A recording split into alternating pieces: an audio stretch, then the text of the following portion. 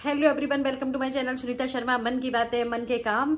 तो आज मैं बना रही हूँ मेथी के पराठे और टमाटर की चटनी। टमाटर और लहसुन की चटनी और मेथी के पराठे बहुत ही टेस्टी लगते हैं। जिस तरीके से मैं बनाती हूँ, उस तरीके से आप भी बनाकर देखिए तो बहुत ही टेस्टी बनते हैं और आप भी खाइए और घर में सबको भी खिलाइए। चलते हैं, चलिए मेथी के पराठे, टमाटर की चटनी।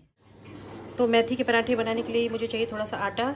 और थोड़ा सा बेसन दो चम्मच और दो चम्मच ही सूजी लूँगी, देख लीजिए आप क्वान्टिटी इतना आटा लिया है, इतना बेसन लिया है, इतनी सूजी ली है। इस तरह से बनाएँगे आप मेथी के पराठे तो खाते रह जाएँगे टेस्टी भी होते हैं और बहुत अच्छे मतलब खाने में बहुत ही टेस्टी लगते हैं। तो और मैंने मेथी, ये देखी मैंने मेथी धोकर रख ली है तो मैं इसको थोड़ा सा मिक्सी में पीस लूँगी। ये देखिए, मेरी मेथी पिस गई है, मैं इसको इसमें डाल दूँगी, पूरी मेथी को। ये देखिए, मैंने डाल दी है। और इसी समय इसमें डालेंगे मसाले। इसमें डालेंगे हम लाल मिर्च पाउडर। अच्छा स्पाइसी खाना है तो स्पाइसी बनाइए, कम खाना है तो कम डाल लीजिए। मैं इसमें डालूँगी जीरा। तो स्पाइसी अच्छी लगती है तो स्पाइसी बना रही हूँ मैं।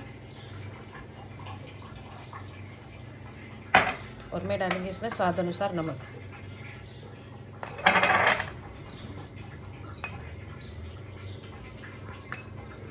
और इसके साथ मैं बनाऊँगी टमाटर की चटनी, वो भी मैं बताती हूँ अभी कैसे बनानी है।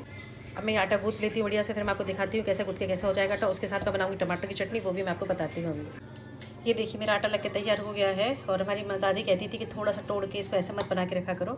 थोड़ा सा तोड़ के लगा दिया जाता है, इसमें उंगलियाँ घुसा दी जाती है छपा दी जाती हैं। उसका भी कोई रीज़न होता है। तो ये मेरा आटा लग गया है और उधर ही मैं टमाटर की चटनी की तैयारी भी कर लेती हूँ। ये तैयारी कर ली है, देखिए मैंने गैस बना चला ली है। अब मैं इस पर रख दूँगी चार पाँच बड़े अच्छे अच्छे टमाटर। इनको मैं भून लूँगी, मैं चटनी टमाटर की भून के बनाऊँगी और मैं इसी पर रख दूँगी, ये थोड़ा सा लहसुन गैस देखिए, मेरा ये ये भुन रहे हैं और ये भुन जाएँगे तो मैं इसकी चटनी भी बनाऊँगी साथ में और मेथी के पराठे और दोनों चीज़ें साथ में बताऊँगी। आपको बहुत ही टेस्टी लगती हैं। तो ये देखिए, टमाटर भुनने लगे हैं मेरे। इनको चिम से, चिमटे से अच्छे से पलटते रहिए, जिससे अच्छे से बिल्कुल भुन जाए टमाटर अंदर से अच्छे से। तो इनको चिमटे से पलटते रहिए बीच बीच में और लहसुन भी साथ में भुन रहा है मेरा। ये देखिए। हरे धनिया की चटनी अलग बनाती हूँ मैं, और जब मुझे ऐसे कुछ खाना होता है तो मैं टमाटर की चटनी बनाती हूँ, लहसुन डाल के। तो ये देखिए, मैं बताती हूँ आपको कैसे बनानी है।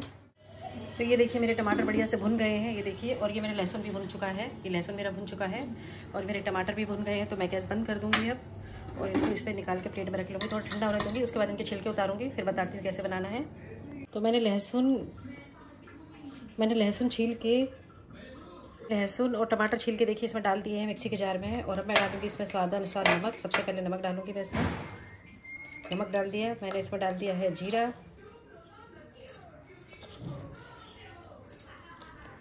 डालूँगी इसमें थोड़ी सी हींग।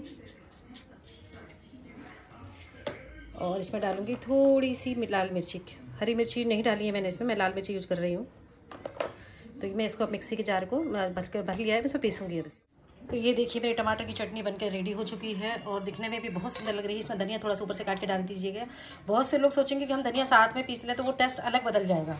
वो धनिया चटनी लगने लगती है, वो इसका टेस्ट ये वाला नहीं आएगा जो इस चटनी का आता है। तो एक बार ज़रूर बना के ट्राई कीजिए वाली चटनी।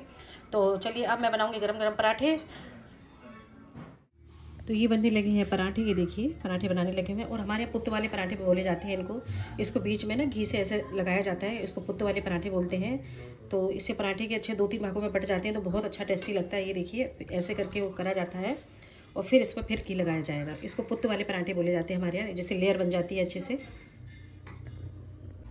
तो ये देखिए, मेरा पराठा बन के रेडी हो चुका है और मैं डालूँगी इसको तवे पर ये देखिए। ये देखिए, मेरा पराठा कितना अच्छा बना है और इसकी लेयर भी मैं आपको खोल के दिखाऊँगी। ये दिख रही होंगी आपको, ये देखिए। ये देखिए, एक लेयर ये है, एक लेयर ये है। ये लेयर है इसकी, ये देखिए, दिख रही होंगी आपको, ये लेयर वाला पराठा है। बहुत ही टेस्टी लगते हैं पराठे, देखिए कितना अच्छा बना है। तो इस तरीके से बनाएँगे, आप पराठे खाते ही रह जाएँगे। और ये देखिए, मेरी थाली हो गई तैयार। ये मेरी खट्टा मीठा नींबू अचार, चटनी, चाय और मेथी के पराठे, बहुत ही टेस्टी लगते हैं। तो आप भी ज़रूर बना के देखिए और मेरा वीडियो कैसा लगा आपको बताइए। और मेरा वीडियो अगर पसंद आ रहे हो तो लाइक कीजिए सब्सक्राइब कीजिए और शेयर कीजिए। थैंक